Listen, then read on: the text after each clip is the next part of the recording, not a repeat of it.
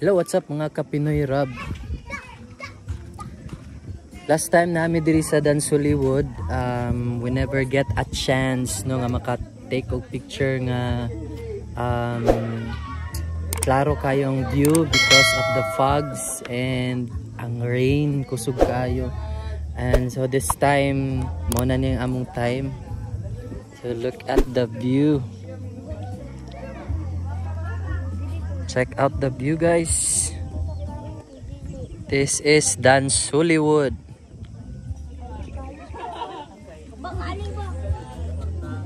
And here's the view diri sa kananan.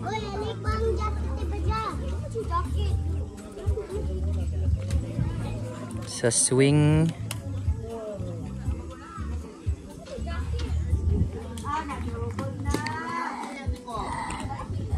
Oras nga niabot mi diri guys alas 2 sa hapon. And bisag alas 2 pagani guys, grabe na kay katugnaw. And pag abot karon oras alas 3 na kapin, 3:30 to be exact. Gadag-um na gid siya and hangin, kusog yang hangin, grabe katugnaw. Grabe kabugnaw.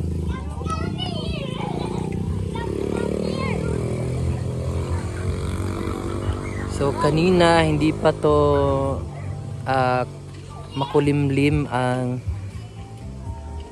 clouds at saka dito sa bukid. Pero ngayon medyo maitim na kasi uulan na at magfa-fogs na. So take a look sa sky guys or sa clouds.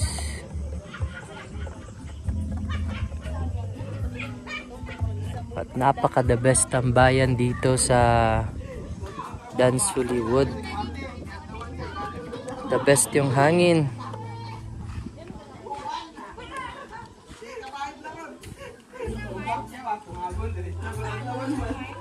Yan dito naman tayo sa view sa ano mga tables.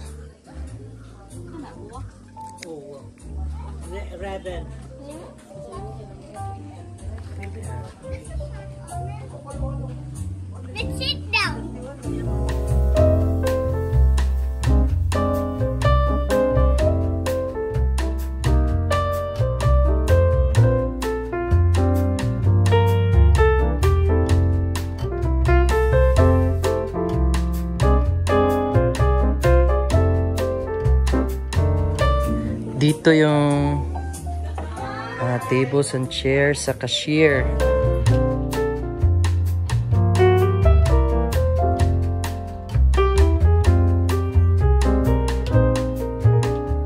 So this is the view.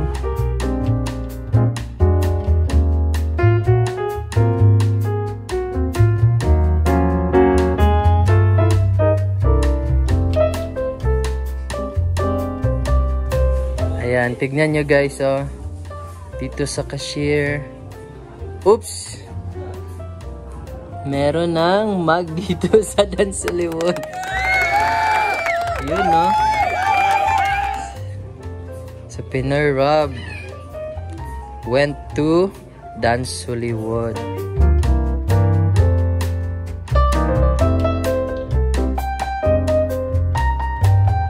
Lights are so much good dito sa cashier.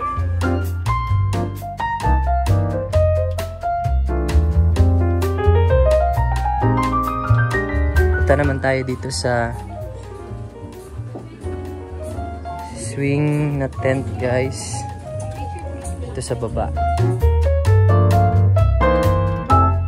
So again, so pagpasok nyo dito sa gate. Ayan. Ito yung swing tent.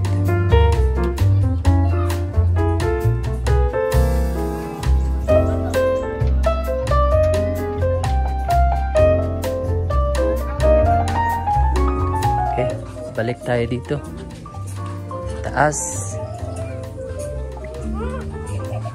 Ayan, tignan natin yung swimming pool nila. Bagong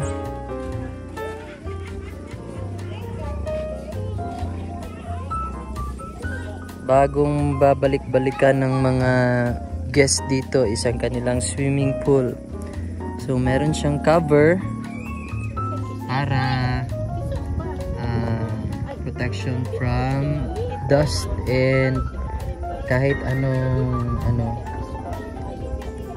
dahon na pumupunta sa swimming pool.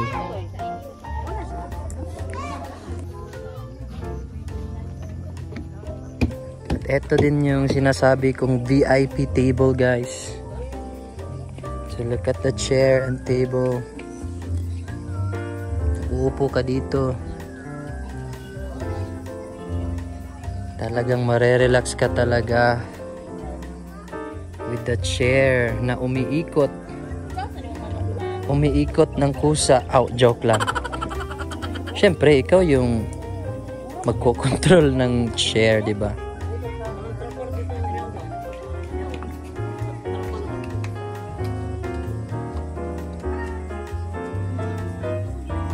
So that's it. So kayo hindi pa nakapunta sa Dance Hollywood, second time na namin to sa Pinoy Rob YouTube channel. So nakita talaga namin yung view. So kayo na hindi pa nakapunta dito, please punta na kayo dito and experience the vibe sa Dance Hollywood. Bye guys!